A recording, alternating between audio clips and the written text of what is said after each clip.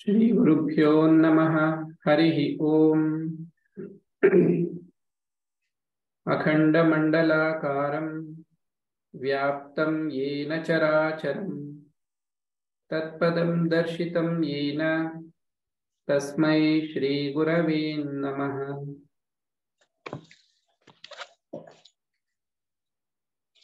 ಪರಮಾತ್ಮನ ಪಾದ ಪದ್ಮಗಳಿಗೆ ಭಕ್ತಿಪೂರ್ವಕ ಪ್ರಣಾಮಗಳನ್ನು ಅರ್ಪಿಸಿ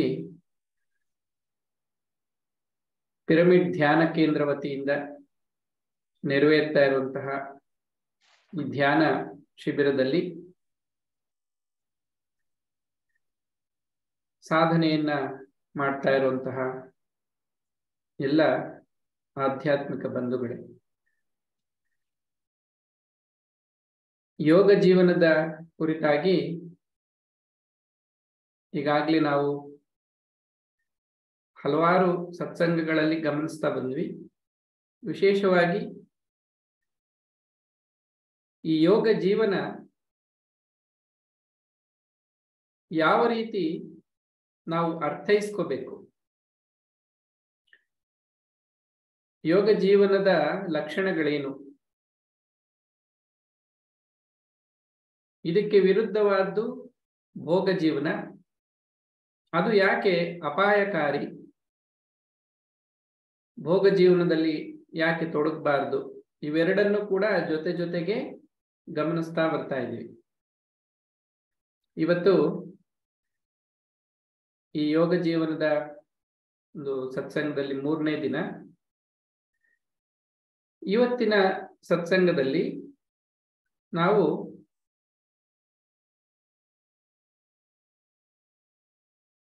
ಸಾಮಾನ್ಯವಾಗಿ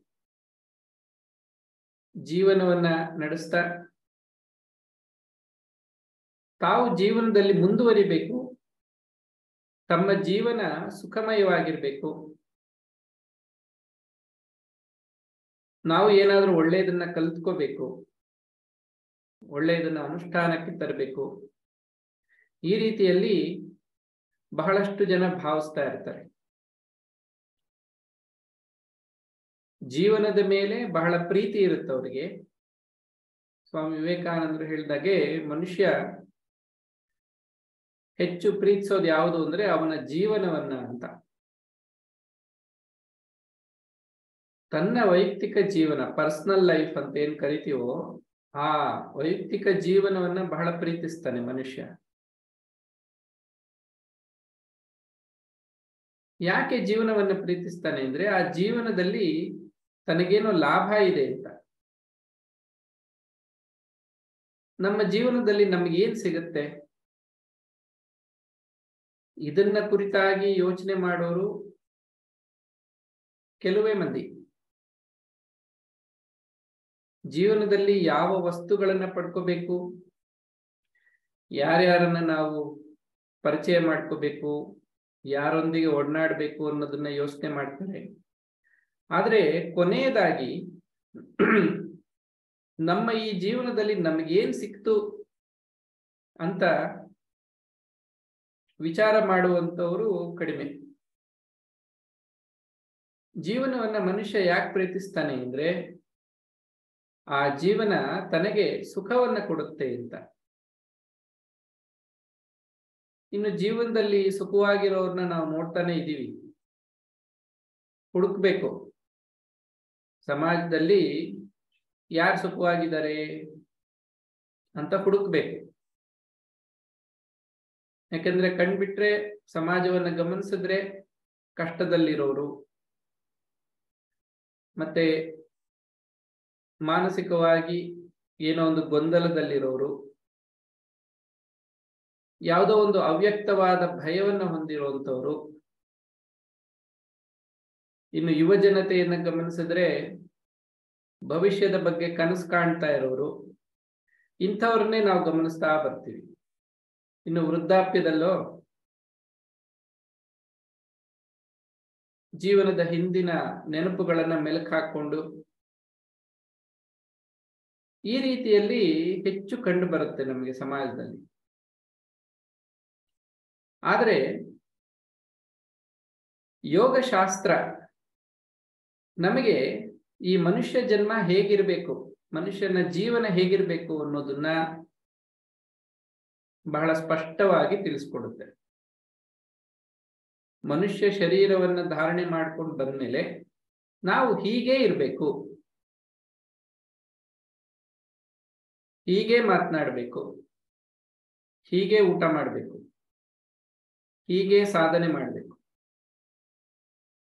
ದಿನನಿತ್ಯದ ವ್ಯವಹಾರಗಳಲ್ಲಿ ನಾವು ಹೀಗೆ ನಡ್ಕೋಬೇಕು. ಪ್ರತಿಯೊಂದನ್ನು ಕೂಡ ನಿಯಮಬದ್ಧವಾಗಿ ಅದು ನಮಗೆ ತಿಳಿಸ್ಕೊಟ್ಟಿದೆ.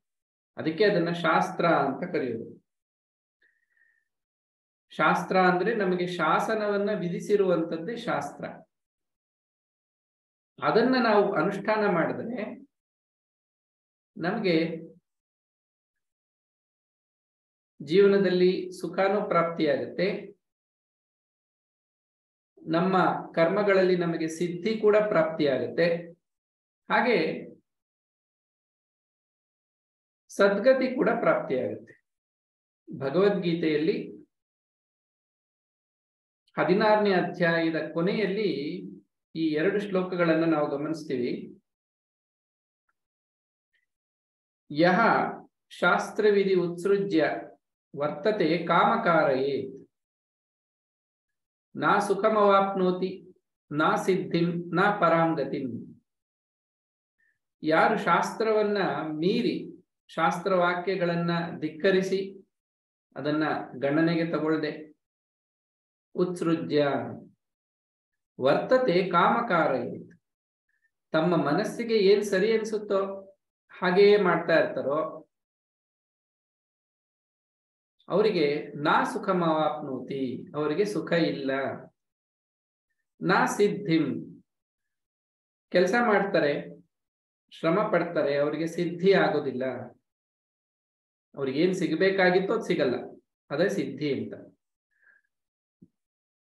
ನಾ ಪರಾಂಗತಿ. ಶರೀರವನ್ನ ತ್ಯಜಿಸಿದ ಮೇಲೆ ಕೂಡ ಅವರಿಗೆ ಸದ್ಗತಿ ಅನ್ನೋದು ಪ್ರಾಪ್ತಿಯಾಗುವುದಿಲ್ಲ. ಈ ಮೂರೂ ಸಿಗೋದಿಲ್ಲ.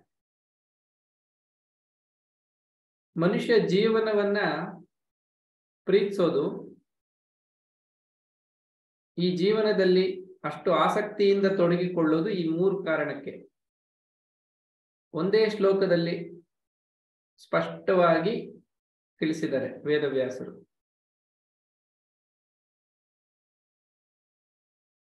ಮೊದಲನೇದಾಗಿ ಸುಖ, ಸುಖವಾಗಿರ್ಬೇಕು ನಾವು ಜೀವನದಲ್ಲಿ. ಯೋಗಶಾಸ್ತ್ರವನ್ನು ಮೀರಿ ನಡೆಯುವವರಿಗೆ ಅದಿಲ್ಲ. ಸಿದ್ಧಿ ಪಡ್ಕೋಬೇಕು. ಅಂದ್ರೆ ಏನಾದ್ರೂ ಲಾಭ, ಸಿದ್ಧಿ ಅಂದ್ರೆ ಇಲ್ಲಿ ಲಾಭ ಅಂತಾನೆ. ಏನೋ ಒಂದು ವಸ್ತುಗಳು, ಒಂದು ಒಳ್ಳೆಯ ಅನುಕೂಲಕರವಾದ ಜೀವನ, ಆರೋಗ್ಯ ಒಳ್ಳೆಯ ಹೆಸರು, ಕೀರ್ತಿ ಎಲ್ಲ ಕೂಡ ಇವೆಲ್ಲ ಸಿದ್ಧಿ ಅಂತಾನೆ ಕರೆಯಲ್ಪಡುತ್ತೆ. ಆಮೇಲೆ ಶರೀರ ಬಿಟ್ಟ ಮೇಲೂ ನಮ್ಗೆ ಸದ್ಗತಿ ಆಗ್ಬೇಕು, ದುರ್ಗತಿ ಆಗ್ಬಾರ್ದು.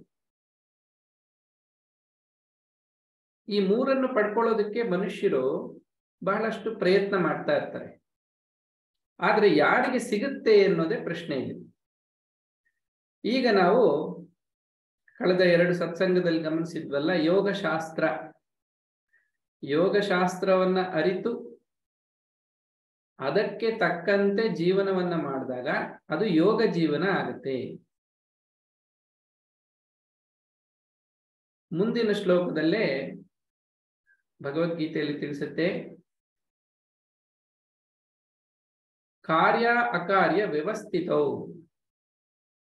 ಶಾಸ್ತ್ರವಾಕ್ಯಂ ಪ್ರಮಾಣಂ. ಕಾರ್ಯ ಅಂದ್ರೆ ಮಾಡಬೇಕಾಗಿರೋದು.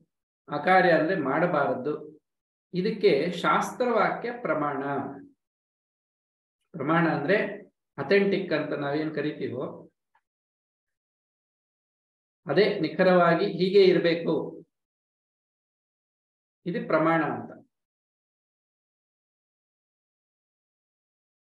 ಶಾಸ್ತ್ರವಾಕ್ಯವನ್ನ ನಾವು ಅರ್ತಿದ್ರೆ ಶಾಸ್ತ್ರವಾಕ್ಯಕ್ಕೆ ಅನುಗುಣವಾಗಿ ನಮ್ಮ ಜೀವನವನ್ನ ನಡೆಸ್ತಾ ಹೋಗ್ಬೋದು. ನಮಗೆ ಸುಖವೂ ಸಿಗುತ್ತೆ. ಕರ್ಮಕ್ಕೆ ಅನುಸಾರವಾಗಿ ಸಿದ್ಧಿನೂ ಸಿಗುತ್ತೆ. ಶರೀರವನ್ನು ಬಿಟ್ಟ ಮೇಲೆ ಸದ್ಗತಿನೂ ಆಗುತ್ತೆ. ಹಾಗಾಗಿ ಶಾಸ್ತ್ರವಾಕ್ಯವನ್ನ ನಾವು ಮೊದಲು ಅರ್ತಿರ್ಬೇಕು. ನಂತರ ಅದನ್ನ ನಾವು ಜೀವನದಲ್ಲಿ ಅಳವಡಿಸ್ಕೊಳ್ಳೋದಕ್ಕೆ ಸಾಧ್ಯ ಆಗುತ್ತೆ. ಸೊ ಇಷ್ಟು ಈ ಯೋಗ ಜೀವನಕ್ಕೆ ಒಂದು ಅಡಿಪಾಯ. ಯೋಗ ಶಾಸ್ತ್ರದ ತಿಳುವಳಿಕೆನೆ ಯೋಗ ಜೀವನಕ್ಕೆ ಅಡಿಪಾಯ. ಹಾಗಾಗಿ ಅಧ್ಯಯನ ಮಾಡಬೇಕು. ಪಾಠ ಪ್ರವಚನಗಳಲ್ಲಿ ಭಾಗವಹಿಸಬೇಕು. ಎಲ್ಲೆಲ್ಲಿಂದ ಒಳ್ಳೊಳ್ಳೆ ವಿಚಾರಗಳೆಲ್ಲ ಬರುತ್ತೋ ಅವೆಲ್ಲವನ್ನು ಸ್ವೀಕರಿಸಬೇಕು. ಸ್ವೀಕರಿಸೋದಕ್ಕೆ ಮುಂಚೆ ವಿಚಾರ ಮಾಡಬೇಕು. ಯಾರ್ಯಾರೋ ಹೇಳಿದ್ದನ್ನೆಲ್ಲ ಸ್ವೀಕರಿಸೋದಲ್ಲ ಅದು ಎಷ್ಟರ ಮಟ್ಟಿಗೆ ಸರಿ ಅಂತ ವಿಚಾರ ಮಾಡಿ ಸ್ವೀಕರಿಸಿ ಅಂತಾನು ಸ್ವಾಮಿ ವಿವೇಕಾನಂದರು ಹೇಳ್ತಾರೆ. ಈ ವಿಚಾರ ಶಕ್ತಿ ಕೂಡ ಬಹಳ ಇರಬೇಕು, ಅದನ್ನು ವಿವೇಕ ಅಂತಾನು ಕರೀತಾರೆ. ಸೊ ಇದು ಯೋಗ ಜೀವನಕ್ಕೆ ಒಂದು ಭದ್ರವಾದ ಬುನಾದಿ. ಈ ಜೀವನದ ಮುಖ್ಯವಾದ ಘಟ್ಟ ಏನಿದೆಯೋ ನಮ್ಗೊತ್ತು ಬಿಲ್ಡಿಂಗ್ ಕನ್ಸ್ಟ್ರಕ್ಷನ್ ಮಾಡ್ಬೇಕಾದ್ರೆ ಪಾಯ ತುಂಬಾ ಇಂಪಾರ್ಟೆಂಟ್ ಅಂತ. ಹಾಗೇನೆ ನಮ್ಮ ಈ ಯೋಗ ಜೀವನಕ್ಕೆ ಅಡಿಪಾಯ ಯಾವುದು ಅಂದ್ರೆ ನಮ್ಮ ವಿದ್ಯಾರ್ಥಿ ಜೀವನ. ಬ್ರಹ್ಮಚರ್ಯ ಅಂತ ಕರೆಯೋರು ಹಿಂದೆ. ಅದನ್ನ ನಮ್ಮ ಜೀವನದಲ್ಲಿ ಮೂರು ಹಂತಗಳಾಗಿ ನಾವು ವಿಭಾಗ ಮಾಡಿ ನೋಡಿದಾಗ ಬಾಲ್ಯ, ಯೌವನ, ವೃದ್ಧಾಪ್ಯ ಈ ಮೂರು ಸೇರಿ ಜೀವನ ಅಂತ ಆಗುತ್ತೆ. ಬಾಲ್ಯದಲ್ಲಿ, ಅಂದ್ರೆ ಬಾಲ್ಯ ಅಂದ್ರೆ ಇಲ್ಲಿ ಎಂಟು ವರ್ಷದವರೆಗೂ ಇರುವಂತ ಬಾಲ್ಯ ಅಂತ ತಿಳ್ಕೊಬಾರ್ದು. ವಿದ್ಯಾರ್ಥಿ ಜೀವನ ಅಥವಾ ಬ್ರಹ್ಮಚರ್ಯ ಆಶ್ರಮ ಅಂತ ನಾವು ಅರ್ಥ ಮಾಡ್ಕೊಂಡ್ರೆ ಒಂದು ಇಪ್ಪತ್ತು, ಇಪ್ಪತ್ತೈದು ವರ್ಷ, ಈಗೆಲ್ಲ ಹೆಚ್ಚು ವರ್ಷಗಳು ಓದ್ತಾನೆ ಇರ್ತಾರಲ್ಲ? ಹಾಗಾಗಿ ಒಂದು ಇಪ್ಪತ್ತೈದು ವರ್ಷ ಅಂತ ಇಟ್ಕೋಬಹುದು ಇಪ್ಪತ್ತೈದು ವರ್ಷದವರೆಗೂ ನಮಗೆ ವಿದ್ಯಾರ್ಥಿ ಜೀವನ ಅಂತ ನಾವು ತಗೋಬಹುದು ಕಲಿಯುವಂತ ವಯಸ್ಸದು. ಅಷ್ಟರೊಳಗಡೆ ಕಲಿಬೇಕಾಗಿರೋದನ್ನ ಕಲ್ತಿರ್ಬೇಕು. ಅಕಾರ್ಡಿಂಗ್ ಟು ಶಾಸ್ತ್ರ ಹೇಳ್ತಾ ಇರೋದು. ಆಮೇಲೆ ಇಪ್ಪತ್ತೈದರಿಂದ ಇನ್ನೊಂದು ಇಪ್ಪತ್ತೈದು ವರ್ಷ, ಈಗ ಆವರೇಜು ನಾವು ಹಂಡ್ರೆಡ್ ಅಂತ ತಗೊಳಕ್ಕಾಗಲ್ಲ, ಒಂದು ಸೆವೆಂಟಿ ಫೈವ್ ಅಂತ ತಗೋಬಹುದು ಹಾಗಾಗಿ ಇನ್ನೊಂದು ಇಪ್ಪತ್ತೈದು ವರ್ಷ ನಾವು ಯೌವನದಲ್ಲಿರ್ತೀವಿ. ಐವತ್ತು ವರ್ಷದವರೆಗೂ ಅಂತ ನಾವು ಒಂದು ಅಂದಾಜು ತಗೊಂಡ್ರೆ, ಈ ಎರಡನೇ ಹಂತ, ಜೀವನದ ಎರಡನೇ ಹಂತದಲ್ಲಿ ನಾವು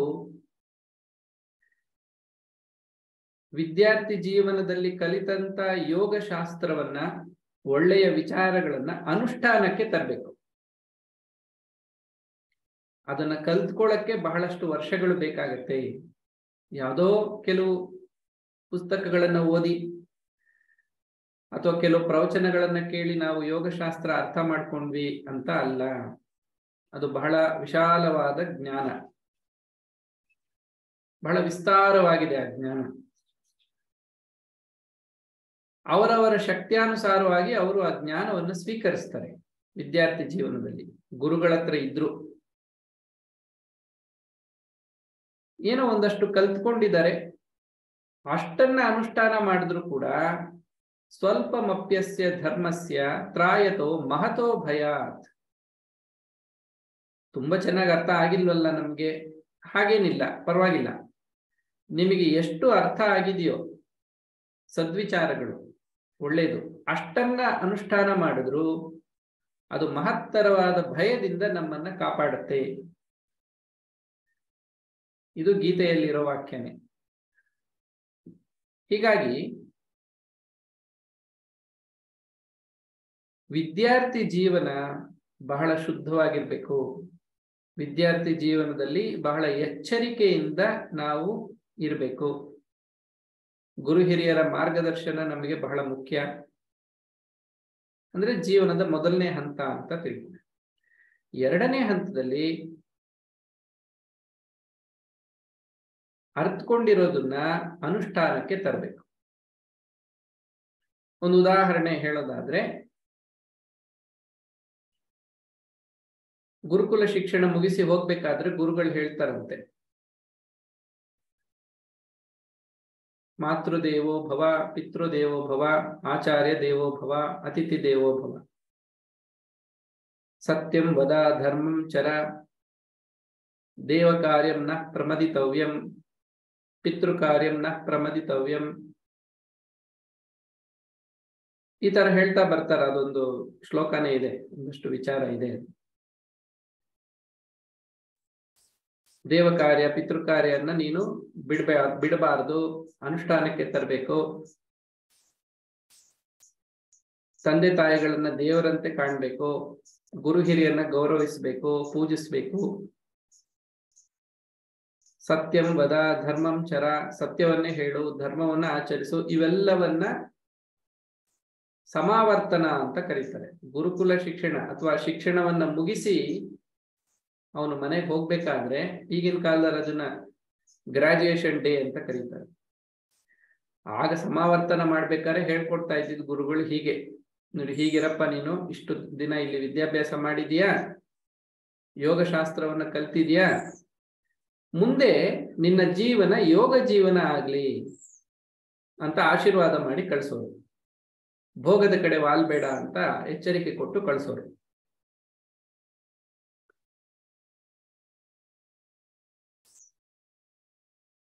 ಇದು ಪದ್ಧತಿ, ಹೀಗಿರ್ಬೇಕು ಅಂತ ಪದ್ಧತಿ. ಈಗೇನಾಗಿದೆ ಅನ್ನೋದನ್ನ ನಾವು ಗಮನಿಸೋದು ಬೇಡ, ಅದರಿಂದ ಏನಷ್ಟು ಉಪಯೋಗ ಆಗಲ್ಲ. ಯೋಗ ಜೀವನ ಅಂತ ಬಂದಾಗ ಮೊದಲಿಗೆ ನಮಗೆ ಶಾಸ್ತ್ರದ ಜ್ಞಾನ ಇರಬೇಕು. ಅದು ಕೇಳಿಸ್ಕೊಂಡಾದ್ರೂ ಸರಿ, ಶ್ರವಣ, ಅಥವಾ ಓದಿ ಆದ್ರೂ ಸರಿ ಶಾಸ್ತ್ರಗಳ ಅಧ್ಯಯನ, ಅದನ್ನ ಸ್ವಾಧ್ಯಾಯ ಅಂತ ಕರೀತಾರೆ. ಕೇಳಿಸ್ಕೊಳ್ಳೋದು ಪ್ರವಚನ. ಹೀಗೆ ಶಾಸ್ತ್ರದ ಅರಿವನ್ನ ಪಡ್ಕೊಂಡು ನಂತರ ನಮ್ಮ ಜೀವನ ಮುಂದುವರಿಬೇಕು. ವ್ಯವಹಾರದಲ್ಲಿ ತೊಡಗಬೇಕು. ಅಂದ್ರೆ ಏನು ಸಂಪಾದನೆ ಮಾಡೋದು, ನಂತರ ಅವರು ಗೃಹಸ್ಥಾಶ್ರಮಕ್ಕೆ ಹೋಗ್ತಾರೆ, ಮದುವೆ ಮಾಡ್ಕೊಳ್ತಾರೆ. ನಂತರ ಅವರ ಸಂತಾನ, ಅವರನ್ನ ಪೋಷಣೆ ಮಾಡುವಂಥದ್ದು. ಸಮಾಜದಲ್ಲಿ ತಮ್ಮ ಕರ್ತವ್ಯವನ್ನು ನಿರ್ವಹಿಸುವಂಥದ್ದು, ದೇವ ಕಾರ್ಯಗಳಲ್ಲಿ ತೊಡಗಿಕೊಳ್ಳೋದು. ಸಮಾಜದಲ್ಲಿ ಸೇವಾ ಕಾರ್ಯಗಳಲ್ಲಿ ನಿರತರಾಗೋದು, ಇವೆಲ್ಲವೂ ಕೂಡ ಈ ಯೋಗಶಾಸ್ತ್ರದ ಆಧಾರದ ಮೇಲೆ ಅನುಷ್ಠಾನಕ್ಕೆ ತರಬೇಕು. ಆಗ ಅದು ಯೋಗ ಜೀವನ ಆಗತ್ತೆ. ಸೊ ಅರ್ಥ ಮಾಡ್ಕೊಳ್ಳೋದು ಸರಿಯಾಗಿ ಅರ್ಥ ಮಾಡ್ಕೊಳ್ಳೋದು ಎಷ್ಟು ಮುಖ್ಯನೋ, ಅರ್ಥ ಮಾಡ್ಕೊಂಡಿರೋದನ್ನ ಅನುಷ್ಠಾನಕ್ಕೆ ತರೋದು ಅಷ್ಟೇ ಮುಖ್ಯ. ಯಾಕೆಂದ್ರೆ ಈ ಸಂದರ್ಭದಲ್ಲಿ ಏನಾಗುತ್ತೆ,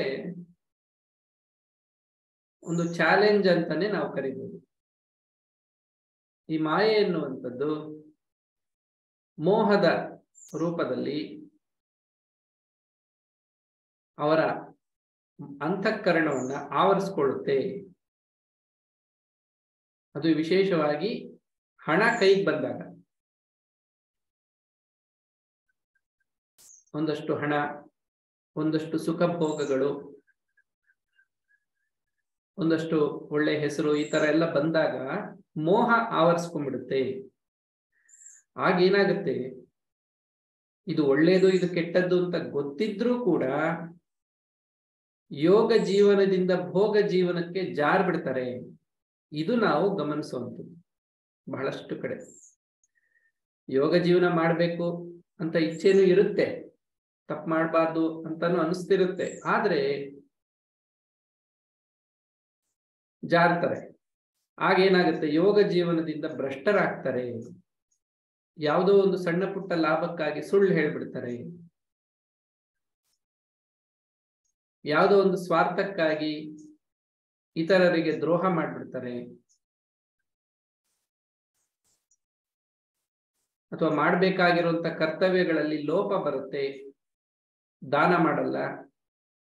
ದಾನ ಅನ್ನುವಂಥದ್ದು ಬಹಳ ಮುಖ್ಯವಾದ್ದು ಗೃಹಸ್ಥರಿಗೆ.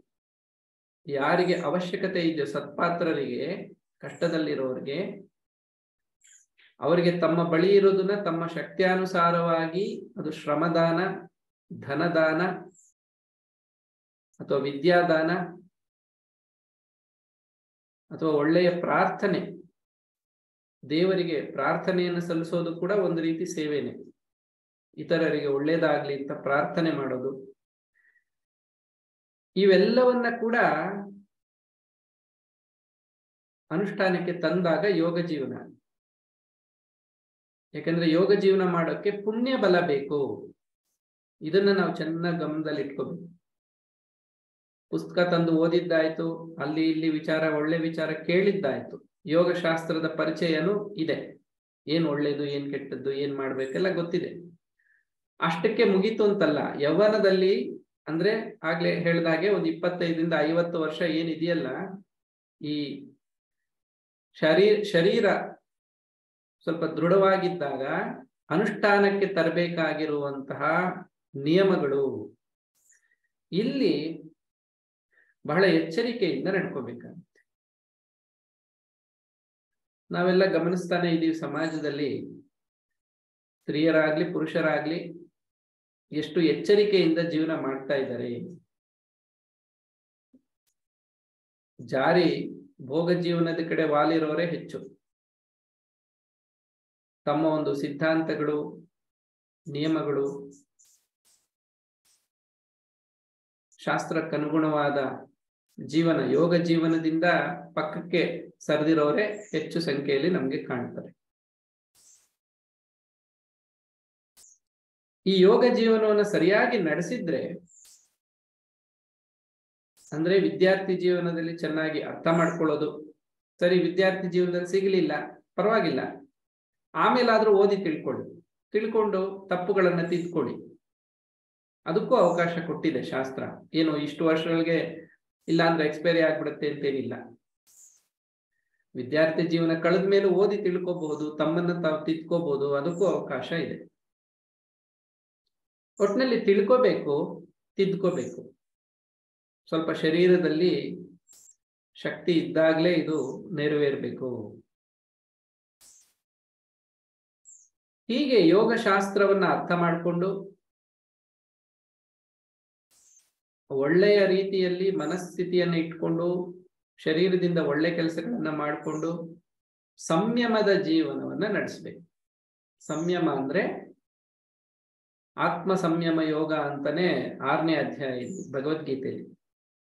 ಅಂದ್ರೆ ತನ್ನ ಮೇಲೆ ತನಗೆ ಹತೋಟಿ ಇರಬೇಕು ಕಂಟ್ರೋಲ್ ಇರಬೇಕು. ಬೇರೆಯವರನ್ನ ಕಂಟ್ರೋಲ್ ಮಾಡೋದಲ್ಲ, ಯೋಗ ಜೀವನ ಅಂದ್ರೆ ತನ್ನನ್ನ ತಾನು ಕಂಟ್ರೋಲ್ ಮಾಡಿಕೊಳ್ಳು ಆಗ ಅವನು ಸುಖವಾಗಿರ್ತಾನೆ. ಇದು ಒಂದು ಶಾಸ್ತ್ರವಾಕ್ಯನೇ ಯವನದಲ್ಲಿ ಹೇಗಿರ್ಬೇಕು ಅನ್ನೋದನ್ನ ಒಂದು ಶಾಸ್ತ್ರವಾಕ್ಯ ಇದು ಭಗವದ್ಗೀತೆಯಲ್ಲೇ ಒಂದು ವಾಕ್ಯ ಇದೆ. ಇಹೈವ ಶಕ್ನೋತಿ ಎಸ್ ಸೋಡು, ಪ್ರಾಕ್ಷರೀರ ವಿಮೋಕ್ಷಣ. ಕಾಮಕ್ರೋಧೋದ್ಭವಂ ವೇಗಂ, ಸಾ ಯುಕ್ತ, ಸಾ ಸುಖೀ ನರಹ ಸಾ ಯುಕ್ತ ಅಂದ್ರೆ ಅವನು ಯೋಗಿ, ಸಾ ಸುಖೀ ನರಹ ಅವನೇ ಸುಖವಾಗಿರುವಂತ ಮನುಷ್ಯ. ಯಾರು? ಇಹೈವ ಶಕ್ನೋತಿ ಯಃ ಸೋಡು. ಯಾರಿಗೆ ಈ ಲೋಕದಲ್ಲೇ ಇಲ್ಲೇ ಶಕ್ನೋತಿ? ಯಾರು ಶಕ್ತನಾಗ್ತಾನೋ ಯಾವುದ್ರಲ್ಲಿ? ಕಾಮಕ್ರೋಧೋದ್ಭವಂ ವೇಗಂ. ಆಸೆ ಮತ್ತು ಕೋಪ, ಕ್ರೋಧ, ಅದು ಬೇರೆಯವ್ರ ಬಗ್ಗೆ ದ್ವೇಷ ಅಂತಾನೂ ಇರಲಿ. ಆಸೆಯನ್ನ, ಕ್ರೋಧವನ್ನ, ಅದರ ವೇಗವನ್ನ ಯಾರು ಸಹಿಸಿಕೊಳ್ಳಬಲ್ಲನೋ, ಅದರಿಂದ ವಿಚಲಿತನಾಗೋದಿಲ್ವೋ, ಅಲ್ಲಾಡೋದಿಲ್ವೋ ಈ ಶರೀರದಲ್ಲಿದ್ದಾಗ್ಲೆ. ಅದು ಸಾಧನೆ ಆಗ್ಬೇಕು. ಮನುಷ್ಯ ಆದ್ಮೇಲೆ ಕೋಪ ಬರೋದು, ಆಸೆ ಬರೋದು, ಸಹಜ. ಇವೆಲ್ಲ ಸುಮ್ಮನೆ ಬಾಯಿ ಮಾತಿಗೆ ಏನೋ ಒಂದು ಮಾತನಾಡಿದಾರಷ್ಟೇ. ಅವರಿಗೆ ಶಾಸ್ತ್ರಜ್ಞಾನ ಇಲ್ಲ ಅಂತ ಅರ್ಥ ಮಾಡ್ಕೋಬೇಕು. ಈ ತರ ಮಾತಾಡ್ತಾ ಇದ್ದಾರೆ ಅಂದ್ರೆ ಅವ್ರಿಗೆ ಶಾಸ್ತ್ರಜ್ಞಾನ ಇಲ್ಲ. ಏನೋ ಬಾಯಿಗೆ ಬಂದಿದ್ ಮಾತಾಡ್ತಾ ಇದ್ದಾರೆ.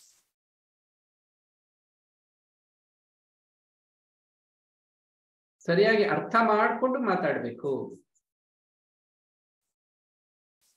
ಶಾಸ್ತ್ರದಲ್ಲಿ ತಿಳಿಸಿರೋದು ಅವಶ್ಯಕತೆಗಳನ್ನ ಪೂರೈಸ್ಕೊಳ್ಳಿ.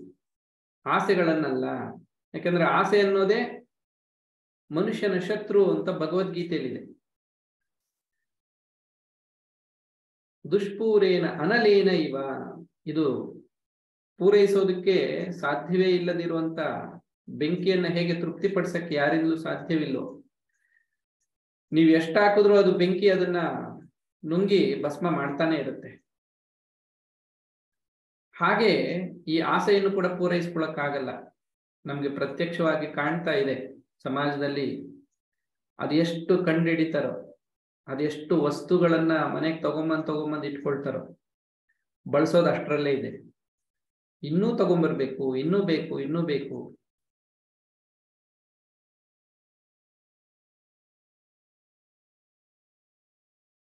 ಈ ರೀತಿಯಲ್ಲಿ ಅನಾವಶ್ಯಕವಾದ ಆಸೆಗಳನ್ನ ಅದನ್ನ ತ್ಯಜಿಸ್ಬೇಕು. ಆ ವೇಗವನ್ನ ಸಹಿಸ್ಕೋಬೇಕು. ಬೇಕು ಅಂದಾಗ ಅದನ್ನ ಕಂಟ್ರೋಲ್ ಮಾಡೋ ಕೆಪಾಸಿಟಿ ಇರಬೇಕು. ಯೋಗಶಾಸ್ತ್ರದ ಪರಿಚಯ ಇರೋರಿಗೆ ಮಾತ್ರ ಇದು ಸಾಧ್ಯ ಆಗುತ್ತೆ. ಅದನ್ನು ನಾವು ನೆನಪಲ್ಲಿ ಇಟ್ಕೋಬೇಕು. ಶಾಸ್ತ್ರದ ಜ್ಞಾನ ಇಲ್ಲದೆ ಇರೋರಿಗೆ ಕಷ್ಟ ಸಾಧ್ಯ. ಹಾಗಂತ ಶಾಸ್ತ್ರ ಓದಿದ ಮಾತ್ರಕ್ಕೆ ಸಾಧ್ಯ ಆಗುತ್ತೆ ಅಂತಲ್ಲ ಆದ್ರೆ ಇದು ಇರ್ಲೇಬೇಕು. ಇಲ್ಲದೆ ಇದ್ರೆ ಆಗ್ಲೇ ಗಮನಿಸ್ದಾಗೆ ಮನುಷ್ಯ ಅಂದ್ಮೇಲೆ ಆಸೆಗಳು ಬರುತ್ತೆ, ಅದನ್ನ ಪೂರೈಸ್ಕೋಬೇಕು. ಅದೇ ನಮ್ಮ ಜೀವನ ಅಂತ ಭಾವಿಸೋರೆ ಹೆಚ್ಚು. ಅದು ದುರ್ಗತಿಗೆ ಕಾರಣ ಆಗತ್ತೆ. ನಂತರ ಹೇಳ್ತೀನಿ ಅದೇನ ಯಾವ ರೀತಿ ಆಗತ್ತೆ ಅಂತ. ಬಾಲ್ಯ ಜೀವನ ನಮ್ಗೆ ಗೊತ್ತೇ ಇದೆ. ಅಂದ್ರೆ ಮೊದಲನೇ ಹಂತ ವಿದ್ಯಾರ್ಥಿ ಜೀವನ ಗುರುವಿನ ಸೇವೆ ಮಾಡಿಕೊಂಡು ಗುರು ಹಿರಿಯರಲ್ಲಿ ಭಕ್ತಿ ಗೌರವವನ್ನು ಇಟ್ಕೊಂಡು ಶ್ರದ್ಧೆಯಿಂದ ಶುದ್ಧವಾಗಿ ಜ್ಞಾನವನ್ನ ಪಡ್ಕೋಬೇಕು. ಕಲಿಬೇಕು ಅಂತ, ಒಳ್ಳೆಯದನ್ನ ಕಲ್ತ್ಕೋಬೇಕು. ಆಮೇಲೆ ಕಲ್ತಿರೋ ಒಳ್ಳೆಯದನ್ನ ಅನುಷ್ಠಾನಕ್ಕೆ ತರಬೇಕು. ಕಾಮಕ್ರೋಧೋದ್ಭವಂ ವೇಗಂ. ಕ್ರೋಧ, ಯಾರ ಮೇಲೂ ಕ್ರೋಧ ಮಾಡಬಾರ್ದು, ದ್ವೇಷ ಇಟ್ಕೋಬಾರ್ದು. ಒಬ್ಬೊಬ್ಬರನ್ನ ಒಂದೊಂದು ರೀತಿ ಕಾಣುವಂಥದ್ದು, ಮುಖ ನೋಡಿ ಮಣೆ ಹಾಕೋದು ಅಂತೆಲ್ಲ ಹೇಳ್ತಾರೆ. ಇದೆಲ್ಲ ಕೂಡ ಯೋಗಶಾಸ್ತ್ರದ ನಿಯಮಗಳಿಗೆ ವಿರುದ್ಧವಾದ್ದು. ನೀವು ಮಹಾತ್ಮರನ್ನ ಗಮನಿಸಿ. ಅವರು ಬಡವರು, ಶ್ರೀಮಂತರು, ಹಾಗೆ ಜಾತಿ ಭೇದ ಇಲ್ಲ, ಓದಿರೋರು, ಓದ್ದೇ ಇರೋರು. ಎಲ್ಲರನ್ನು ಕೂಡ ಅವರು ಪ್ರೀತಿಯಿಂದ ಕಾಣ್ತಾರೆ. ಅವ್ರು ಯಾವತ್ತೂ ಭೇದ ಭಾವ ಮಾಡೋದಿಲ್ಲ. ಆಗ ಅರ್ಥ ಮಾಡ್ಕೋಬೇಕು, ಅವರಿಗೆ ಶಾಸ್ತ್ರದ ಪರಿಚಯ ಇದೆ, ಶಾಸ್ತ್ರಜ್ಞಾನವನ್ನು ಅರ್ಥಕೊಂಡಿದ್ದಾರೆ ಅಂತಹವರ ಜೀವನವೇ ಯೋಗ ಜೀವನ, ಉಳಿದವ್ರದ್ದು ಭೋಗ ಜೀವನ. ಬೇರೆಯವರಿಂದ ತಮ್ಗೇನಾದ್ರು ಉಪಯೋಗ ಇದ್ರೆ ಅವರನ್ನ ಗೌರವಿಸ್ತಾರೆ, ಅವರಿಂದ ನಮ್ಗೇನ್ ಆಗ್ಬೇಕಾಗಿಲ್ಲ ಅಂತ ಅನ್ಸಿದ್ರೆ ಅವರನ್ನ ತಿರಸ್ಕಾರದಿಂದ ಕಾಣ್ತಾರೆ. ಇದು ಭೋಗ ಜೀವನದ, ಇದು ರೋಗ ಜೀವನ. ಇದು ಭೋಗಕ್ಕೆ ಕಾರಣ ಆಗಿದೆ ಮತ್ತು ರೋಗ ಬರುತ್ತೆ. ಅದರಿಂದ ಅದು ವೃದ್ಧಾಪ್ಯದಲ್ಲಿ ಗೊತ್ತಾಗುತ್ತೆ. ಯೋಗ ಜೀವನದ ಲಕ್ಷಣ ಅಂತೂ ಅಲ್ಲ ಇದು. ನೋಡಿ, ಯೋಗ ಜೀವನ ಅಂದ್ರೆ ಉನ್ನತವಾದ ಅದ್ವೈತ ಸಿದ್ಧಾಂತಗಳನ್ನ ಮಾತಾಡಿಕೊಂಡು ಆತ್ಮಭಾವದಲ್ಲಿರೋದು ಇವೆಲ್ಲ ಸರಿ. ಅದು ಹಾಗೆ ಇರಬೇಕು. ಆದ್ರೆ ದಿನ ಬೆಳಗಾದ್ರೆ ವ್ಯಾವಹಾರಿಕ ಜೀವನ ಅಂತ ಒಂದು ಇದೆಯಲ್ಲ ಹೊರಗಡೆ. ಇಲ್ಲಿ ಸರಿಯಾಗಿರ್ಬೇಕು ಮೊದಲು. ಆಮೇಲೆ ಅದ್ವೈತ ಜ್ಞಾನ ವೇದಾಂತದಲ್ಲಿ ನಿಲ್ಲೋದು, ಸಮಾಧಿ ಸ್ಥಿತಿಯಲ್ಲಿರೋದು, ಗಾಢವಾದ ಧ್ಯಾನದಲ್ಲಿ ಮುಳುಗೋದೆಲ್ಲ ಆಮೇಲೆ ಸಾಧ್ಯವಾಗುತ್ತೆ. ಇಲ್ಲಿ ಸಲ್ಲದವನು ಅಲ್ಲಿ ಸಲ್ಲುವನೇ ಅಂತ ಹೇಳಿ ಪುರಂದರದಾಸರು ಹೇಳ್ತಾರೆ. ಇಲ್ಲೇ ಸರಿಯಾಗಿ ಜೀವನ ಮಾಡಕ್ ಆಗದೆ ಇರೋನು, ಧರ್ಮದಿಂದ ಜೀವನ ಮಾಡಕ್ ಆಗದೆ ಇರೋನು, ಯೋಗ ಜೀವನ ಮಾಡಕ್ ಆಗದೆ ಇರೋನು, ಯೋಗೇಶ್ವರನನ್ನ ಹೋಗಿ ಏನ್ ಸೇರ್ಕೊಳ್ತಾನವನು, ಅವನ್ ಹೇಗ್ ಮೆಚ್ಚಿಸ್ತಾನೆ? ನಾವು ಯೋಗಿ ಆಗ್ಬೇಕು. ಆಮೇಲೆ ನಮಗೆ ಯೋಗೇಶ್ವರನ ಕೃಪೆ ಆಗುತ್ತೆ. ಯೋಗಿ ಆಗ್ಬೇಕು ಅಂದ್ರೆ ಯೋಗ ಜೀವನವನ್ನ ನಡೆಸ್ಬೇಕು. ಆವಾಗ ನಾವು ಯೋಗ್ಯರಾಗ್ತೀವಿ. ನಮಗೊಂದು ಯೋಗ್ಯತೆ ಬರುತ್ತೆ. ನೋಡಿ, ಒಂದು ಮುಖ್ಯವಾದ ವಿಚಾರ, ಸುಖವಾಗಿರ್ಬೇಕು. ಇದು ಜನರಲ್ ಕಾನ್ಸೆಪ್ಟ್ ಎಲ್ರು ನಾವು ಸುಖವಾಗಿರ್ಬೇಕು. ಆದ್ರೆ ಸುಖವನ್ನ ಪಡಿಬೇಕಾದ್ರೆ ಅದಕ್ಕೊಂದು ಯೋಗ್ಯತೆ ಬೇಕಲ್ಲ? ಯಾರಿಗೆ ಯೋಗ್ಯತೆ ಇಲ್ವೋ ಅದು ಸಿಗೋದಿಲ್ಲ ಅಂತ ಗೊತ್ತಿದೆ. ವಿವೇಕಾನಂದ ಹೇಳ್ತಾರೆ we only get what we deserve ನಮ್ಗೆ ಅರ್ಹತೆ ಏನಿದೆಯೋ ಅಷ್ಟೇ ನಮ್ಗೆ ಸಿಗುತ್ತೆ. ಹೆಚ್ಚು ಅಲ್ಲ, ಕಡಿಮೆನೂ ಅಲ್ಲ. ಹೀಗಾಗಿ ಸುಖವಾಗಿರ್ಬೇಕು ಸರಿ, ಸುಖವಾಗಿರೋದಕ್ಕೆ ಏನ್ ಯೋಗ್ಯತೆ ಇದೆ? ಆ ಯೋಗ್ಯತೆಯನ್ನ ಪಡ್ಕೊಳ್ಳೋದು ಯೋಗವನ್ನ ಯೋಗ ಶಾಸ್ತ್ರವನ್ನ ಅರ್ಥ ಮಾಡಿಕೊಂಡು ಯೋಗ ಜೀವನವನ್ನ ಅನುಷ್ಠಾನಕ್ಕೆ ತಂದಾಗ ನಮಗೆ ಯೋಗ್ಯತೆ ಬರುತ್ತೆ. ಸಿದ್ಧಿ ಪಡ್ಕೋಬೇಕು ಅಂದ್ರೆ ಒಂದು ಯೋಗ್ಯತೆ ಬೇಕು. ಸುಖವಾಗಿರ್ಬೇಕು. ಸಿದ್ಧಿಯನ್ನ ಪಡ್ಕೋಬೇಕು ಅಂದ್ರೆ ಜ್ಞಾನ ಸಿದ್ಧಿ, ಭಕ್ತಿ ಸಿದ್ಧಿ, ವೈರಾಗ್ಯ ಸಿದ್ಧಿ ಆಗ್ಬೋದು. ಅಥವಾ ಇನ್ಯಾವುದೋ ಒಂದು ಅದ್ಭುತವಾದ ವಿಶೇಷ ಜ್ಞಾನ ಆಗಬಹುದು. ಇದೆಲ್ಲ ಕೂಡ ಸಿದ್ಧಿಗಳೇ. ಹೀಗೆ ಯೋಗ ಜೀವನದ ಅನುಷ್ಠಾನಕ್ಕೆ ತಂದಾಗ ಅನುಷ್ಠಾನವನ್ನ ತರೋ ಸಮಯದಲ್ಲಿ ನಮಗೆ ಬಹಳಷ್ಟು ಅಡ್ಡಿ ಆತಂಕಗಳು ಬರುತ್ತೆ. ಯಾಕಂದ್ರೆ ನಾವು ಜೀವನ ಮಾಡ್ತಾ ಇರೋದು ಈ ಮಾಯಾ ಲೋಕದಲ್ಲಿ ಇದನ್ನ ಚೆನ್ನಾಗಿ ನೆನ್ಪಿಟ್ಕೋಬೇಕು. ಒಳ್ಳೇದನ್ನ ಮಾಡೋರಿಗೆ, ಒಳ್ಳೆ ದಾರಿಯಲ್ಲಿ ಹೋಗೋರಿಗೆ ಬಹಳಷ್ಟು ಅಡ್ಡಿ ಆತಂಕಗಳು ಬರುತ್ತೆ. ಈಗ ಒಂದು ಸ್ಪೋರ್ಟ್ಸ್ ನಡೀತಾ ಇದೆ ಅಂದ್ರೆ ಸುಮ್ಮನೆ ಕೂತ್ಕೊಂಡು ನೋಡಿ ಚಪ್ಪಾಳೆ ತಟ್ಟೋರಿಗೆ ಯಾವ ಅಡ್ಡಿ ಆತಂಕ? ಆದ್ರೆ ಯಾರು ಬಹುಮಾನ ತಗೋಬೇಕು? ಯಾರು ಆ ಮೆಡಲ್ ತಗೋಬೇಕು ಗೋಲ್ಡ್ ಮೆಡಲು ಅವನು ಎಷ್ಟು ಅಭ್ಯಾಸ ಮಾಡಿರ್ಬೇಕು? ಆ ಸಮಯದಲ್ಲಿ ಅವನು ಅದನ್ನ ಚಾಲೆಂಜ್ ಆಗಿ ತಗೊಂಡು ಎಷ್ಟು ಪ್ರಯತ್ನ ಹಾಕ್ಬೇಕು, ಆರಾಮಾಗಿ ನಡ್ಕೊಂಡು ಹೋಗೋನಿಗೆ ಗೋಲ್ಡ್ ಮೆಡಲ್ ಕೊಟ್ಬಿಡ್ತಾರ. ವೇಗವಾಗಿ ಓಡ್ಬೇಕು. ಇಷ್ಟು ಸಮಯ ಅಂತ ಇಟ್ಟಿರ್ತಾರೆ. ಆ ಸಮಯದ ಒಳಗಡೆ ಅಲ್ಲಿ ಸೇರ್ಕೋಬೇಕು ಅಂತನೋ, ಅಷ್ಟು ಬೇಗ ಹೋಗಿ ಯಾರು ತಲುಪ್ತಾರೋ ಅವ್ರಿಗೆ ಅಂತನೋ ಈ ತರ ಇರುತ್ತೆ. ಅದೇ ತರ ಈ ಜಗತ್ತಿನಲ್ಲಿ ಕೂಡ ಇಲ್ಲೂ ಕೂಡ ನಮಗೆ ಬಹಳಷ್ಟು ಚಾಲೆಂಜಸ್ ಬರುತ್ತೆ. ನೋಡಿ, ಸಮಯ ಯಾವುದು? ನಮಗೆ ಆಯಸ್ ಆಯಸ್ ಏನು? ಆಯುಷ್ಯ. ಆಯುಷ್ಯ ಅಂತ ಇದೆ ನಮ್ಗೆ ಎಷ್ಟು ಆಯಸ್ಸು. ಅದನ್ನ ಆಯಸ್ಸು ಅಂತ ಕನ್ನಡದಲ್ಲಿ ಕರೀತಾರೆ. ಆಯುಷ್ಯ. ನಮ್ಮ ಲೈಫ್ ಟೈಮ್ ಎಷ್ಟಿದೆ? ನಮ್ಗೆ ಸಮಯ ಎಷ್ಟು ಸಿಕ್ಕಿದೆ? ಜಾತಕದಲ್ಲಿ ಗೊತ್ತಾಗ್ಬಿಡುತ್ತೆ. ಎಷ್ಟು ಅಂತ ನಾವು ತಿಳ್ಕೋಬಹುದು. ಒಂದು ಅಂದಾಜು. ಅಲ್ಪಾಯುಷಿನ, ದೀರ್ಘಾಯುಷಿನ ಅದು ಅರ್ಥ ಮಾಡ್ಕೋಬಹುದು ಏನೋ ಒಂದಷ್ಟು ಆವರೇಜ್ ಸಿಕ್ಕಿದೆ. ಈ ಸಮಯದೊಳಗಾಗಿ ನಾವು ಯೋಗಶಾಸ್ತ್ರವನ್ನ ಚೆನ್ನಾಗಿ ಅರ್ಥ ಮಾಡಿಕೊಂಡು ಯೋಗ ಜೀವನವನ್ನ ನಡೆಸಬೇಕು. ಆ ಯೋಗ ಜೀವನ ನಡೆಸಬೇಕಾದ್ರೆ ಬರುವಂತಹ ಅಡ್ಡಿ ಆತಂಕಗಳನ್ನು ನಿವಾರಿಸ್ಕೋಬೇಕು. ಏನ್ ಅಡ್ಡಿಗಳು ಬರುತ್ತೆ? ಬಹಳಷ್ಟು ಜನಕ್ಕೆ ಏನ್ ಅಡ್ಡಿ ಬಂದ್ಬಿಡುತ್ತೆ? ಅಂತ ಪ್ರಶ್ನೆ ಬಂದ್ರೆ ಉತ್ತರ ಇಷ್ಟೇ. ಆಗ್ಲೇ ಹೇಳಿದ್ನಲ್ಲ ಶ್ಲೋಕ ಭಗವದ್ಗೀತೆದು, ಇವೆರಡೇ ಅಡ್ಡಿ ಬರೋದು. ಒಂದು ಆಸೆ, ಇನ್ನೊಂದು ಕೋಪ. ಕೋಪ ಅಂದ್ರೆ ಸಣ್ಣ ಪುಟ್ಟ ಕೋಪ ಮಾಡ್ಕೊಳ್ಳೋದು ಅದಲ್ಲ, ಕ್ರೋಧ. ಇನ್ನೊಬ್ಬರನ್ನ ದ್ವೇಷಿಸದೆ ಅವನು ಬದುಕಬೇಕು. ದ್ವೇಷ ಇರಬಾರ್ದು. ಯಾಕೆಂದ್ರೆ ಈ ಕಾಮ, ಕ್ರೋಧ ಮತ್ತೆ ಲೋಭ ಅಂತ ಇನ್ನೊಂದಿದೆ. ಅದೂನು ಅಡ್ಡಿನೇ. ಲೋಭ ಅಂದ್ರೆ ನನ್ನ ಹತ್ರ ಏನಿದೆಯೋ ಅದನ್ನ ನಾನೇ ಅನುಭವಿಸ್ಬೇಕು. ನಾನು ಯಾರಿಗೂ ಏನು ಕೊಡಲ್ಲ. ಇದು ನಂದು. ಇದು ನಾನೇ ಅನುಭವಿಸ್ಬೇಕು.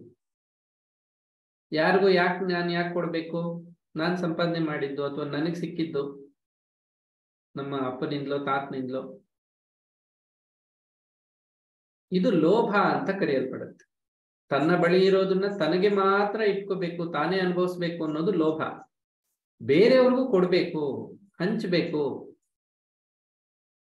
ಬೇರೆಯವರು ಸುಖವಾಗಿರ್ಲಿ ಅಂದಾಗ ಅಲ್ಲಿ ಲೋಭ ಇಲ್ಲ ಅಂತ ಅರ್ಥ.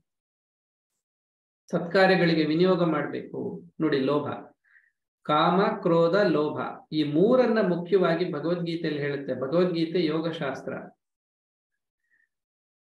ಈ ಮೂರನ್ನ ತ್ಯಜಿಸಬೇಕು. ಏತತ್ರಯಂ ತ್ಯಜೇತ್. ಈ ಮೂರನ್ನ ತ್ಯಜಿಸಿ ನಾವು ಮಾಡುವಂತ ಜೀವನವೇ ಯೋಗ ಜೀವನ. ಚೆನ್ನಾಗಿ ನೆನ್ಪಿಟ್ಕೋಬೇಕು. ಹಾಗಾದ್ರೆ ಯೋಗ ಜೀವನ ಅಂದ್ರೆ ಹೇಗಿರುತ್ತೆ? ಇಷ್ಟೇ. ಆಸೆ. ಅವಶ್ಯಕತೆಗಳನ್ನ ಬಿಡಿ ಅಂತ ಹೇಳಿಲ್ಲ. ಅನಾವಶ್ಯಕವಾದ ಆಸೆಗಳು ಅಂತ ಇಟ್ಕೊಳ್ಳಿ ಆಸೆ, ಕಾಮ, ಕ್ರೋಧ. ಇನ್ನೊಬ್ಬರನ್ನ ದ್ವೇಷಿಸಬಾರ್ದು, ಯಾರಲ್ಲೂ ಕ್ರೋಧ ಇರಬಾರ್ದು ಮನಸ್ಸಿನಲ್ಲಿ. ಮೂರನೇದು ಲೋಭ. ಯಾರಿಗೂ ಏನು ಕೊಡದೆ ತಾನೇ ಅನುಭವಿಸ್ಬೇಕು, ಸ್ವಾರ್ಥ. ಈ ಮೂರು ನರಕದ್ವಾರಂ ಅಂತ ಹೇಳಿದೆ. ಯಾರು ಯೋಗಶಾಸ್ತ್ರವನ್ನು ಚೆನ್ನಾಗಿ ಅರ್ಥ ಮಾಡಿಕೊಂಡು ಜೀವನದಲ್ಲಿ ಈ ಮೂರು ದ್ವಾರಗಳಲ್ಲಿ ಪ್ರವೇಶ ಮಾಡಲ್ವೋ ಕಾಮ, ಕ್ರೋಧ, ಲೋಭ ಈ ಮೂರಲ್ಲಿ ಒಂದಿದ್ರು ಮುಗೀತು. ಅವ್ರ ನರಕಕ್ಕೆ ಹೋಗೋದು. ಈ ಕಾಮ, ಕ್ರೋಧ, ಲೋಭ ಮೂರನ್ನು ಗೆದ್ದಿರ್ಬೇಕು.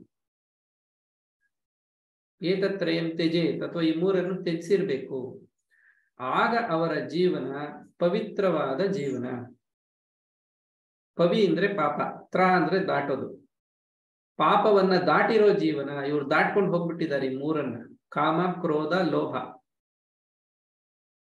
ಮುಖ್ಯವಾಗಿ ಮೂರನ್ನ ಯಾರು ತಿಳಿಸಿರ್ತಾರೋ ಆತ್ಮಶ್ರೇಯ ಅವಾಪ್ನೋತಿ, ಅವರು ತಮ್ಮ ಶ್ರೇಯಸ್ಸನ್ನ ಹೊಂದುತ್ತಾರೆ ತಮಗೆ ತಾವೇ ಶ್ರೇಯಸ್ಸನ್ನ ಮಾಡ್ಕೊಳ್ತಾರೆ, ಕಲ್ಯಾಣವನ್ನ ಮಾಡ್ಕೊಳ್ತಾರೆ ಆತ್ಮ ಕಲ್ಯಾಣ ಆಗುತ್ತೆ ಅವ್ರಿಗೆ. ಯಾಕೆ ಧ್ಯಾನ ಮಾಡಬೇಕು? ಯಾಕೆ ಅಧ್ಯಯನ ಮಾಡಬೇಕು? ಯಾಕೆ ಸತ್ಸಂಗದಲ್ಲಿ ತೊಡ್ಕೋಬೇಕು? ಸಾಧು ಸಜ್ಜನರ ಸಂಘ ಯಾಕೆ ಬೇಕು? ನಿರಂತರವಾಗಿ ಯಾಕಿರ್ಬೇಕು ಸತ್ಸಂಗ? ಯಾಕೆ ಅಂದ್ರೆ ಈ ಮೂರು ಮನುಷ್ಯನಿಗೆ ಶತ್ರುಗಳು. ಕಾಮ, ಕ್ರೋಧ, ಲೋಭ. ಈ ಮೂರು ಇಲ್ಲದೆ ಅಥವಾ ಈ ಮೂರನ್ನ ನಿಗ್ರಹಿಸಿ ಕಂಟ್ರೋಲ್ ಅಲ್ಲಿ ಇಟ್ಕೊಂಡು ಅದು ಬಂದರೂ ಕೂಡ ಆಗ್ಲೇ ಹೇಳಿದ ಹಾಗೆ ವೇಗಂ. ಅವು ಬಂದರೂ ಕೂಡ ಅದನ್ನ ಸಹಿಸಿಕೊಂಡು ಅದನ್ನ ಪಕ್ಕಕ್ಕೆ ಸರಿಸಿ ತನ್ನ ಒಂದು ಯೋಗ ಮಾರ್ಗದಲ್ಲಿ ವಿಚಲಿತನಾಗದೆ ಆ ಯೋಗ ಜೀವನದಲ್ಲಿ ದೃಢವಾಗಿ ನಿಂತು ಮುಂದಕ್ಕೆ ಸಾಕ್ತಾನಲ್ಲ, ಅವನು ಯೋಗ ಜೀವನವನ್ನ ಮಾಡ್ತಾ ಇದ್ದಾನೆ. ಅವನು ಯೋಗಿ ಆಗೋದಕ್ಕೆ ಸಾಧ್ಯ. ಸಾಯುಕ್ತ ಪೂರ್ಣವಾಗಿ ಅವನು ಅದನ್ನ ಕಂಟ್ರೋಲ್ ಮಾಡ್ದ, ನಿಗ್ರಹಿಸ್ದ, ದಾಟ್ಕೊಂಡು ಹೋದ ಅಂದ್ರೆ ಅವನು ಯೋಗಿ. ಸಾಯುಕ್ತ ಆಮೇಲೆ ಸಾ ಸುಖೀ ನರಹ ಅವನು ಸುಖವಾಗಿದೆ. ಆಗ್ಲೇ ಒಂದ್ ಮಾತು ಹೇಳಿದ್ದೆ. ಜೀವನದಲ್ಲಿ ಸುಖವಾಗಿರ್ಬೇಕು ಅಂದ್ರೆ ಒಂದು ಯೋಗ್ಯತೆ ಬೇಕು. ಅವರವರಿಗೆ ಎಷ್ಟೆಷ್ಟು ಯೋಗ್ಯತೆ ಇದೆಯೋ ಅಷ್ಟೇ ಅವರಿಗೆ ಸುಖ ಪ್ರಾಪ್ತಿ ಆಗತ್ತೆ. ವಸ್ತುಗಳಿಂದ, ವ್ಯಕ್ತಿಗಳಿಂದ ಸುಖ ಪ್ರಾಪ್ತಿ ಆಗೋದಿಲ್ಲ. ಸುಖ ಪ್ರಾಪ್ತಿ ಆಗೋದು ತನ್ನ ಅಂತರಂಗದಲ್ಲಿ. ನಮ್ಮ ಅಂತರಂಗದಲ್ಲಿ ಈ ಮೂರು ಶತ್ರುಗಳನ್ನ ನಾವು ಗೆದ್ದಿದ್ರೆ ಅಥವಾ ಈ ದೋಷಗಳನ್ನ ನಾವು ತ್ಯಜಿಸಿದ್ರೆ ನಾವು ಸುಖವಾಗಿರ್ತೀವಿ. ನಮ್ಮ ಪ್ರಾರಬ್ಧಾನುಸಾರ ನಮಗೆ ಏನು ಸಿಗಬೇಕು ಆಹಾರ, ವಸ್ತ್ರ, ಇನ್ನೊಂದು ಅದು ಸಿಕ್ಕೇ ಸಿಗುತ್ತೆ. ಅದನ್ನ ಯಾರೂ ತಪ್ಸಕ್ಕಾಗಲ್ಲ. ಭಗವಂತ ನಮಗೆ ಎಷ್ಟು ಕೊಡ್ಬೇಕೋ ಕೊಟ್ಟೆ ಕೊಡ್ತಾನೆ. ಹಿಂದಿನ ಜನ್ಮದಲ್ಲಿ ನಾವು ಏನ್ ಪಡ್ಕೊಂಡಿದೀವೋ ಅದನ್ನ ನಾವು ಇವಾಗ ತಗೊಳ್ತೀವಿ. ಅದನ್ನೇ ಪ್ರಾರಬ್ಧ ಅಂತ ಕರೆಯೋದು. ಅದಕ್ಕೇನು ವಿಶೇಷವಾಗಿ ಯೋಚನೆ ಮಾಡ್ಬೇಕಾಗಿಲ್ಲ. ಆದ್ರೆ ನಾವು ಗಮನ ಹರಿಸ್ಬೇಕಾಗಿರೋದು ಯೋಗ ಜೀವನದಲ್ಲಿ ಹೇಗಿರ್ಬೇಕು ಅಂದ್ರೆ ಈ ಮೂರರಿಂದ ಎಚ್ಚರಿಕೆ ಇರಬೇಕು. ಈ ಮೂರನ್ನ ಗೆದ್ದಿದ್ದಾರೆ ಅಥವಾ ತೆಚ್ಚಿಬಿಟ್ಟಿದ್ದಾರೆ ಇದು ಯಾವುದು ನಮ್ಮನ್ನ ತಾಕಲ್ಲ ಅನ್ನೋದಾದ್ರೆ ಅವರು ಯೋಗಿಗಳು. ಇದು ಯೋಗ ಜೀವನದ ಕುರಿತಾಗಿ ಒಂದಷ್ಟು ವಿಚಾರ.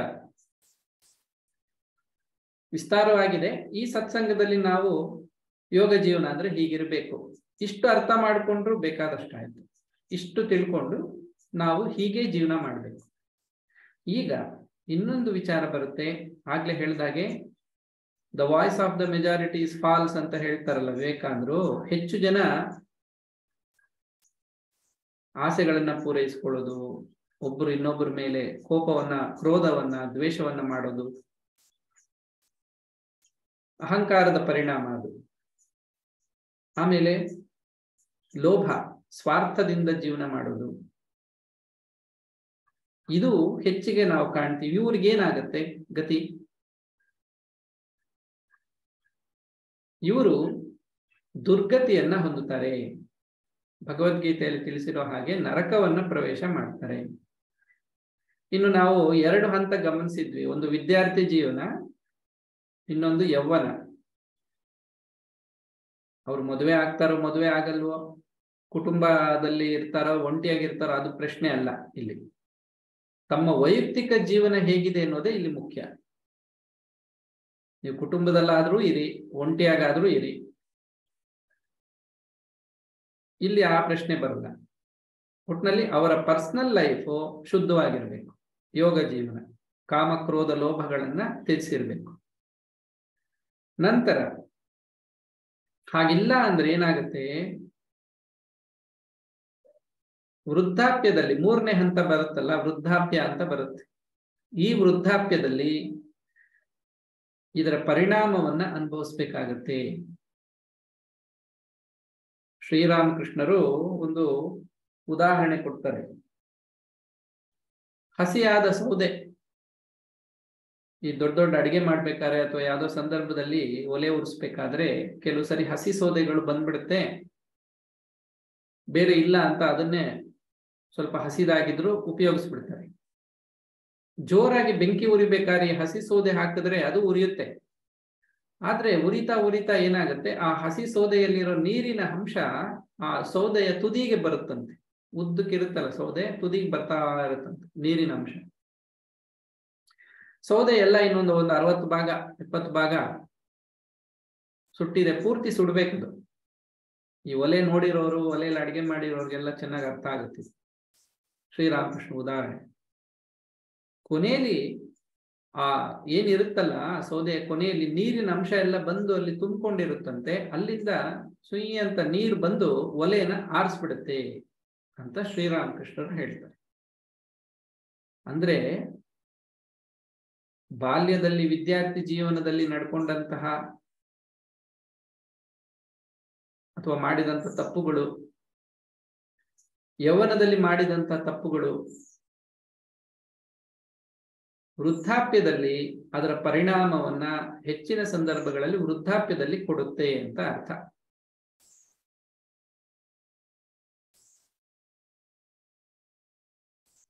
ಸೌದೆ ಸ್ವಲ್ಪ ಹಸಿ ಇತ್ತು, ಸೌದೆ ಹಾಕಿದ್ ಮಾತ್ರ ಕೊಲೆ ಆರೋಗಲ್ಲ. ಉರಿತಾ ಬರುತ್ತಂತೆ. ಉರಿತ, ಉರಿತಾ ಕೊನೆಯಲ್ಲಿ ಒಂದು ಹಂತಕ್ಕೆ ಬಂದಾಗ, ಒಂದು ಎಪ್ಪತ್ತೈದು ಭಾಗ ಉರಿದಾಗ ಆಮೇಲೆ ಅದು ಒಲೆನ ಆರಿಸ್ಬಿಡುತ್ತೆ. ಅಂದ್ರೆ ವೃದ್ಧಾಪ್ಯದಲ್ಲಿ ಅವರಿಗೆ ಆ ದುಷ್ಕಾರ್ಯಗಳ ಫಲ ಸಿಗತ್ತೆ.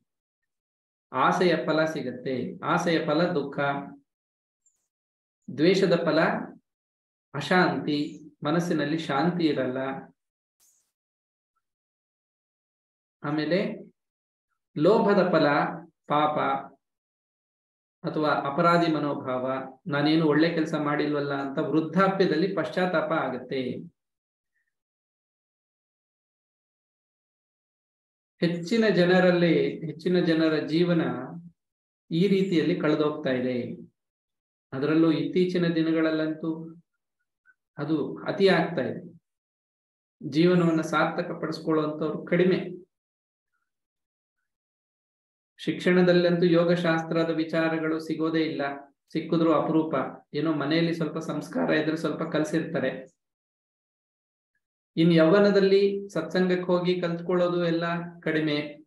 ಯಾಕಂದ್ರೆ ಸಂಪಾದನೆ ಮಾಡ್ಬೇಕು, ದುಡಿಬೇಕು, ಕೆಲಸ, ಕುಟುಂಬ ಇದರಲ್ಲೇ ಮಗ್ನರಾಗ್ಬಿಡ್ತಾರೆ. ಅವ್ರು ಕಲಿಯೋದು ಯಾವಾಗ? ಯೋಗಶಾಸ್ತ್ರವನ್ನ? ಅದನ್ನ ಅನುಷ್ಠಾನಕ್ಕೆ ತರೋದು ಯಾವಾಗ? ವೃದ್ಧಾಪ್ಯದಲ್ಲಿ ಸುಖವಾಗಿರ್ಬೇಕು ಅಂತ ಈ ಎರಡನ್ನ ಮಾಡ್ಕೊಂಡ್ ಬಂದಿರೋದು. ಗಮನಿಸಿ, ಓದೋದು ಯಾಕೆ? ಮುಂದೆ ಚೆನ್ನಾಗಿರ್ಬೇಕು ಜೀವನದಲ್ಲಿ ಅಂತ ಶಿಕ್ಷಣ ಪಡ್ಕೊಂಡಿದ್ದು. ಆಮೇಲೆ ಏನ್ ಮಾಡ್ತಾರೆ? ಸಂಪಾದನೆ ಮಾಡ್ಬೇಕು, ಮನೆ ಕಟ್ಕೋಬೇಕು ಒಳ್ಳೆ ವ್ಯಕ್ತಿಗಳನ್ನ ನಾವು ಹೊಂದಬೇಕು, ಅವರನ್ನ ನಾವು ಹಿಡಿದಿಟ್ಕೋಬೇಕು. ಸಮಾಜದಲ್ಲಿ ಒಳ್ಳೆ ಹೆಸರು ಮಾಡ್ಕೋಬೇಕು. ಈ ತರ ಎಲ್ಲ ಮಾಡೋದು ಯಾಕೆ? ಮತ್ತೆ ಸುಖವಾಗಿರ್ಬೇಕು ಭವಿಷ್ಯದಲ್ಲಿ ಅಂತಾನೆ. ಯಾವ್ದವ್ರ ಭವಿಷ್ಯ? ವೃದ್ಧಾಪ್ಯನೇ ಅವ್ರ ಭವಿಷ್ಯ. ಆದ್ರೆ ಯೋಗಶಾಸ್ತ್ರದ ನಿಯಮಗಳನ್ನ ಬದಿಗೊತ್ತಿ ವರ್ತತೆ ಕಾಮಕಾರಯೇ ಮನಸ್ಸಿಗೆ ಬಂದ ಹಾಗೆ ಆಸೆಗಳನ್ನ ಪೂರೈಸಿಕೊಂಡು, ದ್ವೇಷವನ್ನ ಹೊಂದ್ಕೊಂಡು, ಸ್ವಾರ್ಥವನ್ನ ಮಾಡಿಕೊಂಡು ಈ ರೀತಿಯಲ್ಲಿ ಇದ್ದುಕೊಂಡು ಅವನ ವೃದ್ಧಾಪ್ಯದ ಜೀವನ ಸುಖವಾಗಿರಕ್ ಸಾಧ್ಯ ಇಲ್ಲ. ಸೊ ಅವನ ಜೀವನ ಫೇಲ್ಯೂರ್ ಆಯ್ತು. ಪರ್ಸನಲ್ ಲೈಫು ಸ್ಪಾಯಿಲ್ ಆಯ್ತು, ಹಾಳಾಯ್ತು. ಜೀವನ ಚೆನ್ನಾಗಿರ್ಬೇಕು ಅಂತಾನೆ ಇಷ್ಟೆಲ್ಲ ಪ್ರಯತ್ನ ಮಾಡಿದ್ದು, ಆದ್ರೆ ಜೀವನ ಹಾಳಾಯ್ತು. ಮಾನವ ಜನ್ಮ ಬಲು ದೊಡ್ಡದು. ಇದ ಹಾಳು ಮಾಡಿಕೊಳ್ಳಬೇಡಿರಿ, ಹುಚ್ಚಪ್ಪಗಳಿರ ಅಂತ ಹೇಳಿ. ಮನುಷ್ಯ ಜನ್ಮ ಅಂದ್ರೆ ಅದು ಯೋಗ ಜೀವನ. ಹಾಗೆ ಇರಬೇಕು ಅಂತ ಅರ್ಥ ಅದು. ಮೃಗಗಳಂತೆ ಜೀವನ ಮಾಡಬೇಕು ಅಂತ ಅಲ್ಲ. ಉಪನಿಷತ್ತಲ್ಲಿ ಬಹಳ ಹಿಂದೆನೆ ಹೇಳಿದೆ, ಈ ಯೋಗ ಶಾಸ್ತ್ರವನ್ನ ಅರ್ಥ ಮಾಡ್ಕೊಳ್ದೆ ಸರಿಯಾಗಿ. ಯೋಗ ನಿಯಮಗಳನ್ನ ಜೀವನದಲ್ಲಿ ಪಾಲಿಸದೇ ಇದ್ರೆ ಮನುಷ್ಯ ರೂಪೇಣ ಮೃಗಾಶ್ಚರಂತಿ. ಮನುಷ್ಯ ರೂಪದಲ್ಲಿ ಮೃಗಗಳು ಸಂಚರಿಸ್ತಾ ಇವೆ ಸಮಾಜದಲ್ಲಿ. ಇದರ ಅನುಭವ ಅಂತೂ ನಮ್ಗೆಲ್ರಿಗೂ ಹಾಗೇ ಇರುತ್ತೆ. ಅವರ ನಡವಳಿಕೆ. ಇಂಥ ಸಮಾಜದಲ್ಲಿ ಹೇಗೆ ಬದುಕೋದು ಅನ್ನೋ ಪ್ರಶ್ನೆನೂ ಬಂದ್ಬಿಡುತ್ತೆ. ಪರಿಸ್ಥಿತಿ ಹೀಗಿದೆ. ಆದರೆ ನಾವು ನಮ್ಮ ಕೈಯಲ್ಲಿ ಒಂದಿದೆ ಉದ್ಧರೇದ ಆತ್ಮನ ಆತ್ಮಾನಂ. ಇಷ್ಟಂತೂ ನಾವು ಮಾಡ್ಬೋದು. ನಮ್ಮ ಆತ್ಮೋದ್ಧಾರವನ್ನ ಮೊದಲು ಮಾಡ್ಕೋಬೇಕು. ನಾವೇ ಈಜಕ್ಕೆ ಬರ್ದೆ ಇನ್ನೊಬ್ಬರನ್ನ ನಾವು ಮುಳುಗ್ತಾ ಇರೋನ್ನ ಕಾಪಾಡಕ್ ಹೋದ್ರೆ ನಾವು ಮುಳುಗ್ತೀವಿ ಅಷ್ಟೇ ಮೊದಲು ನಾವು ಜ್ಞಾನ ಪಡ್ಕೊಂಡು ನಮ್ಮ ಜೀವನವನ್ನ, ಯೋಗ ಜೀವನವನ್ನಾಗಿ ಪರಿವರ್ತನೆ ಮಾಡಿಕೊಂಡು ನಾವು ಶಕ್ತರಾದ್ರೆ,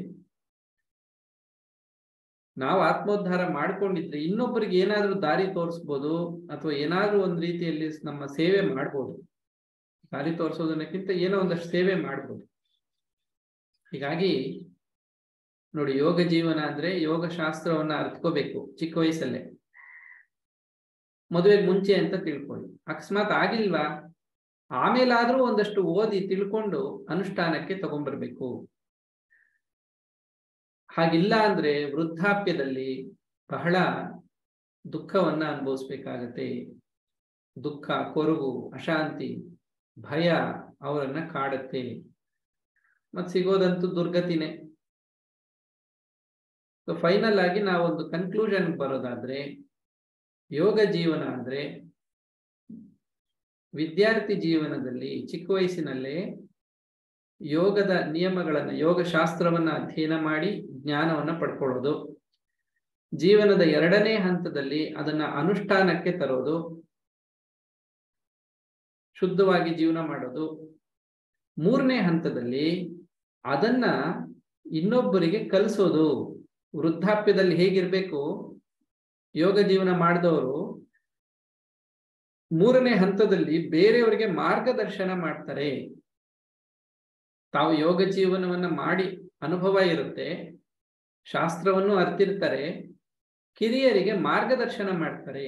ಸಮಾಜದಲ್ಲಿ ಒಳ್ಳೆ ವ್ಯಕ್ತಿಯಾಗಿ ಅವರು ಬಾಳ್ತಾರೆ, ಸದ್ಗತಿಯನ್ನ ಪಡ್ಕೊತಾರೆ ಹಾಗಿಲ್ಲ ಅಂದ್ರೆ ವಿದ್ಯಾರ್ಥಿ ಜೀವನದಲ್ಲಿ ಕಲಿಬೇಕಾಗಿರೋದು ಕಲ್ತಿಲ್ಲ.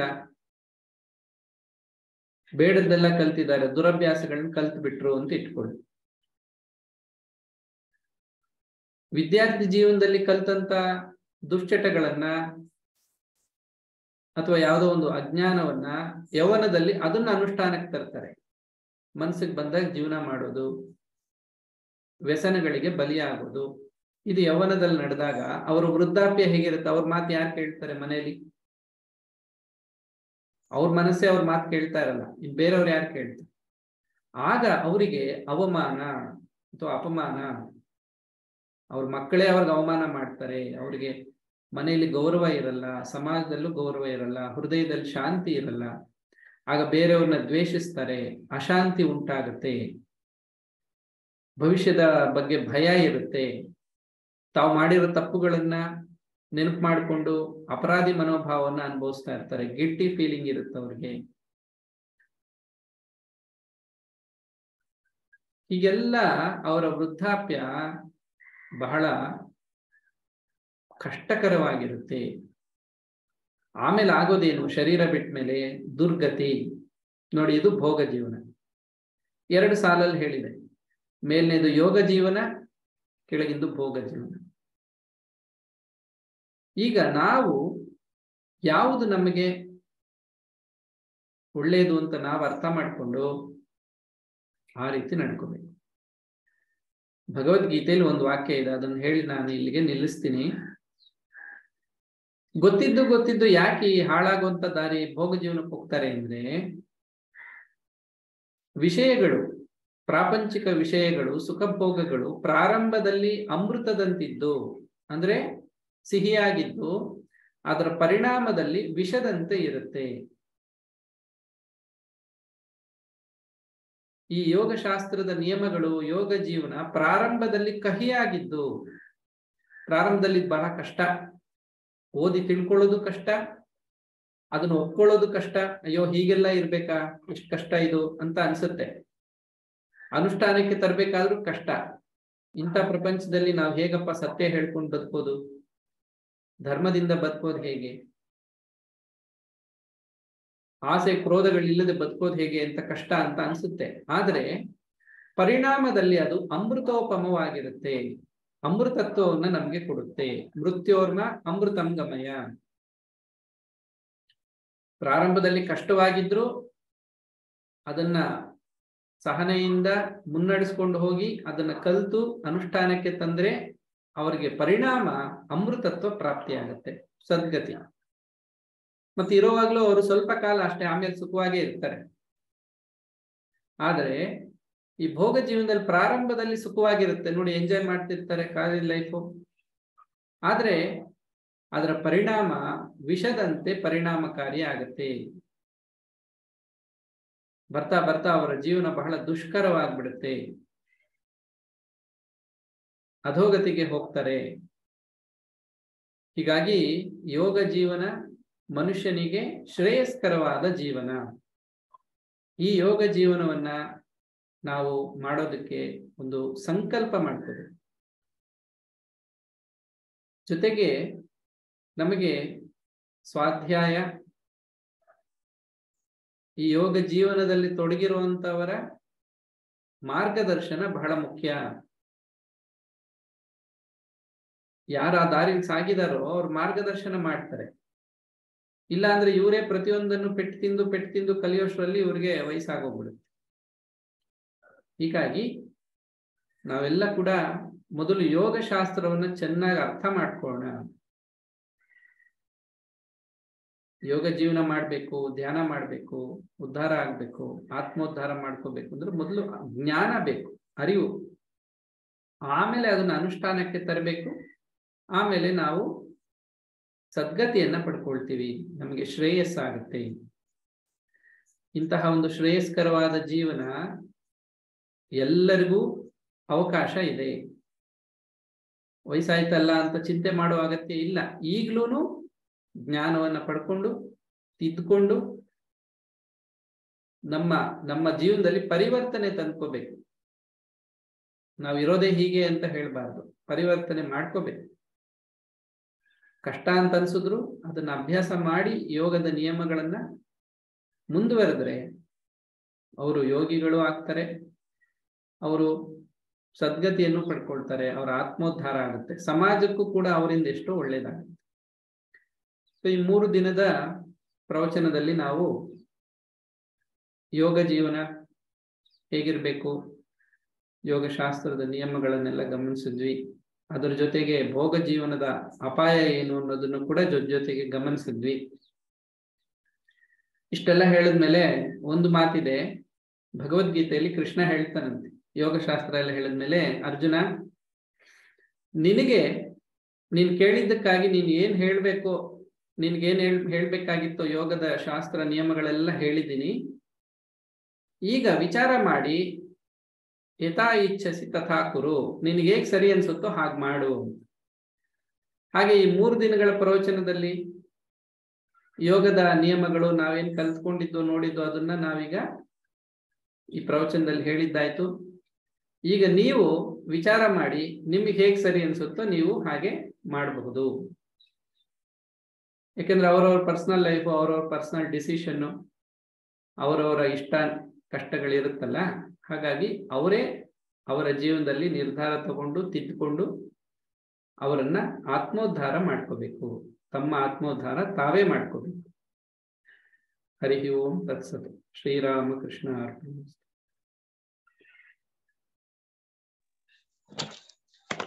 ಧನ್ಯವಾದಗಳು ಗುರುಜಿ. ಈ ಒಂದು